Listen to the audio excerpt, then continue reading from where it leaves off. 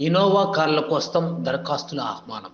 భారత కేంద్ర ప్రభుత్వం చెందిన జాతీయ షెడ్యూల్ కులాల ఆర్థిక మరియు అభివృద్ధి సంస్థ ఎస్సీ సామాజిక వర్గం చెందిన యువత ఇనోవా కార్లు ద్వారా స్వయం ఉపాధి పొందాలనే సంకల్పంతో దరఖాస్తులను ఆహ్వానించినట్లు పొదిలి మండల పరిషత్ అభివృద్ధి అధికారి శ్రీకృష్ణ సోమవారం నాడు ఒక ప్రకటన విడుదల చేశారు.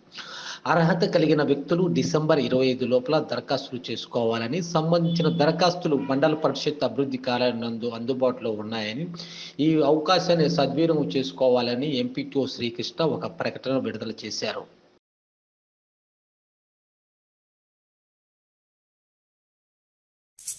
మీకు ఈ వీడియో నచ్చినట్టయితే లైక్ చేయండి షేర్ చేయండి సబ్స్క్రైబ్ చేయండి.